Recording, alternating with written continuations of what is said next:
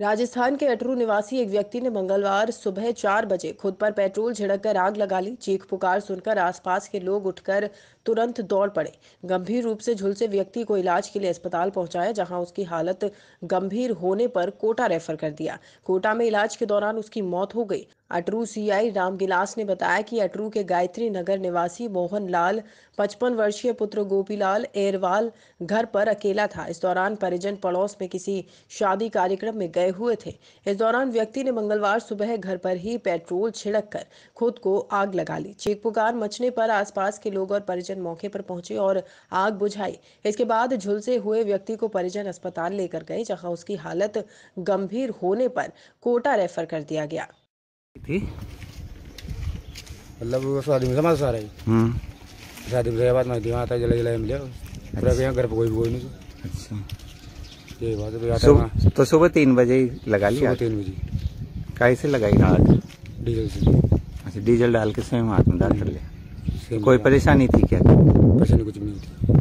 Balrampur police अधीक्षक श्री केशव कुमार द्वारा अपराध एवं अपराधियों पर अंकुश लगाए जाने हेतु चलाए जा रहे अभियान के क्रम में अपर पुलिस अधीक्षक नम्रता श्रीवास्तव व क्षेत्राधिकारी उतरौला।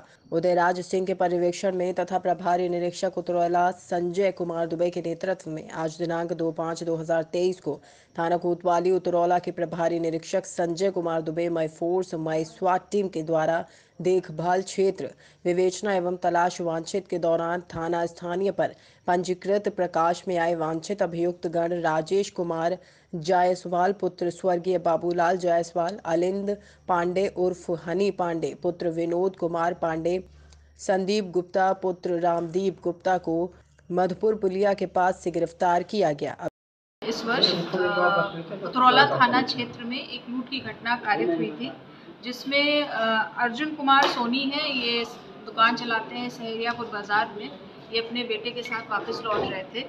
और मैनहा नहरिया के पास में मोटरसाइकिल पे दो लोग आए और इनका मोबाइल छीन लिया और इनके साथ इनकी मोटरसाइकिल पे धक्का वक्का मारा था।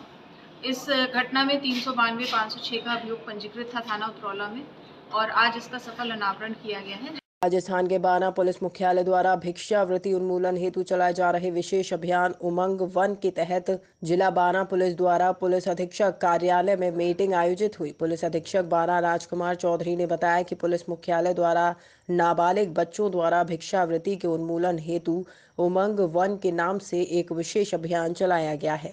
अभियान की सफलता को दृष्टिगत रखते हुए अभियान संचालित किए जाने का निर्णय लिया गया है। अभियान को सफल बनाने हेतु जिनेन्द्र कुमार जैन अतिरिक्त पुलिस अधीक्षक बारा के नेतृत्व में अखिलेश त्रिपाठी, पुलिस निरीक्षक व दूरदर्शिता त्यागी मानव तस्करी विरोध प्रकोष्ठ जिला बारा व C W C child line R P F और समस्त थाना स्टाफ व बल कल्याण अधिकारी की कार्यालय के कार्यालय के सभागार में मीटिंग आयोजित की गई, जिसमें नाबालिग बच्चों द्वारा भिक्षावृत्ति के उन्मूलन हेतु विशेष टीमों का गठन किया गया। एवं अभियान को किस तरह से सफल बनाना है, उसके संबंध में निर्देश भी दिए गए।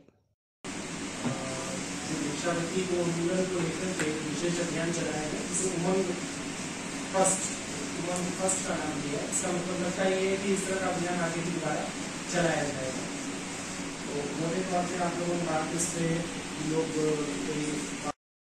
राघवगढ़ नगर पालिका के अंतर्गत आने वाले गाँव विजयपुर में राजस्थान जाने वाली सड़क स्टेट हाईवे की पुलिया पिछले एक महीने से टू- टूटी पड़ी हुई है। लोगों का कहना है कि इससे आवागमन बुरी तरह से बाधित हो रहा है। इस पुलिया को टूटे हुए एक माह बीत जाने के बाद भी काम चालू नहीं हुआ, जबकि पुलिया को खोदकर ठेकेदार ने 20 दिन पहले ही गिट्टी रेत यहाँ डाल दिए हैं और काम चालू करने में लापरवाही की जा रही है। ऐसे में अगर कोई दुर्घटना हो जाए तो इसकी ज़िम्मेदारी कौन लेगा?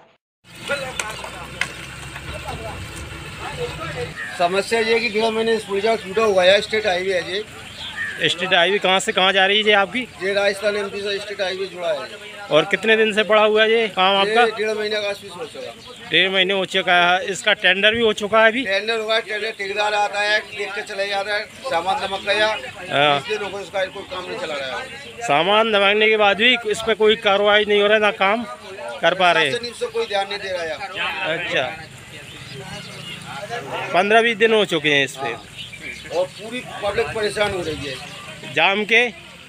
और हमारे कलेक्टर महोदय जी हैं और अब तक उन्होंने सुनवाई नहीं की।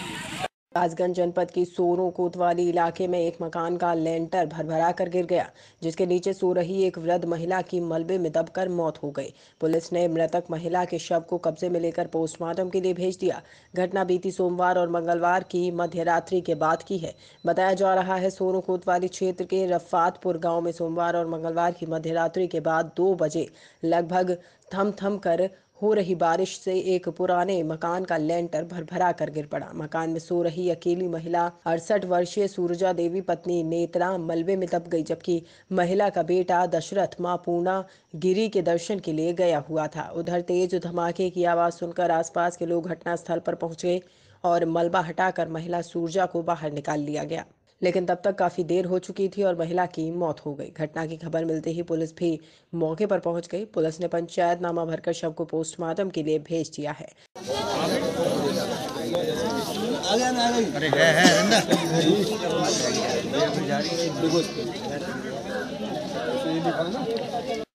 राजस्थान समाज कल्याण बोर्ड की अध्यक्ष एवं महँगाई राहत शिविर की प्रभारी अर्चना शर्मा ने सांगोद पहुंचकर यहाँ कुंदनपुर रोड एवं पंचायत समिति परिसर में चल रहे महँगाई राहत शिविर की व्यवस्थाओं का अवलोकन किया। पहले ग्राम बालूहेड़ा में भी चल रहे महँगाई राहत शिविर का प्रभारी श्रीमती अर्चना शर्मा ने अवलोकन किया। ब्लॉक कांग्रेस अध्यक्ष पूजा सिंह एवं पूर्व ब्लॉक कांग्रेस अध्यक्ष मनोज सुवाल का पूर्व नगर अध्यक्ष एवं पार्षद राजेंद्र गहलोत रहे। Thank you. कोटा ज़िले से जुड़ी महिला एवं बाल विकास परियोजनाओं में सरकार ने बच्चों के बैठने के लिए कुर्सी व टेबल तो भेज दी, परंतु उनको भवन में रखने की जगह पर्याप्त नहीं है। ऐसे में छोटे कमरे में एक तरफ़ पोषाहार तो दूसरी तरफ़ टेबल कुर्सी लगी होने से बच्चों को बैठने तक की जगह नहीं रहती। जबकि सरकार ने अधिकांश भवन विहीन आंगनबाड़ी को स्कूल में संचालित कर रखा है, परंतु स्कूल में भी पर्याप्त जगह नहीं होने से इन्हें मजबूरी में छोटे से कमरे में आंगनबाड़ी संचालित करनी पड़ रही है हाथी राजा बहुत बड़े सूंड हिला के कहाँ चले सुंडी लाके कहा राजस्थान के बारह ज़िले के कस्बा थाना क्षेत्र के टाणा अहिरान में यादव समाज का सामूहिक विवाह सम्मेलन आयोजित किया गया, जिसमें अट्ठावन जोड़े परिणय सूत्र में बंधे। सुबह से रात तक सम्मेलन स्थल पर बड़ी संख्या में मेहमानों की आवाजाही से चहल पहल रही। इस दौरान स्वर्गीय वरिष्ठ भाजपा नेता बद्री प्रसाद जैन की याद में टाणा अहिरान में यादव समाज के विवाह समारोह में उनके पुत्र नूतन जैन, नरेश जैन, दिनेश जैन ने परिवार सहित पहुंचकर बर वर वधुओं को उपहार स्वरूप आशीर्वाद देकर प्रदान किया। पूर्व विधायक ललित मीणा भी पहुँचे और वर वधुओं को आशीर्वाद दिया। साथ ही समाज सेवी आदर्श ने भी वर वधुओं को आशीर्वाद दिया। इस दौरान पुलिस प्रशासन भी अलर्ट रहा।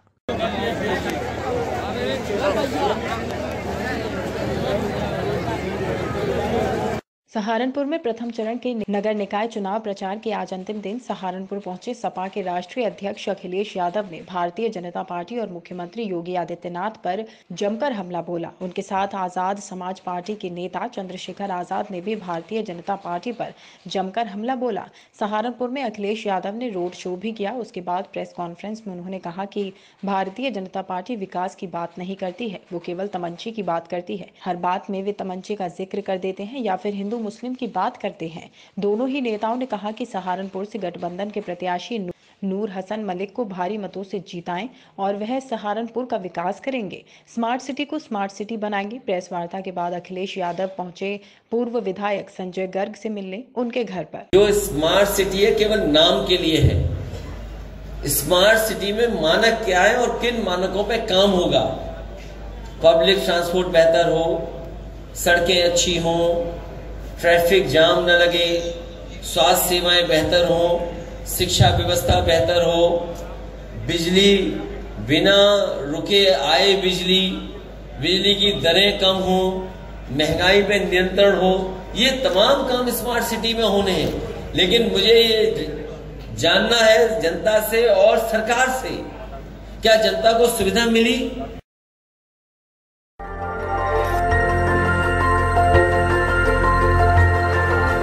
देखते रहिए डीवी भारती समाचार नज़र हर खबर पर।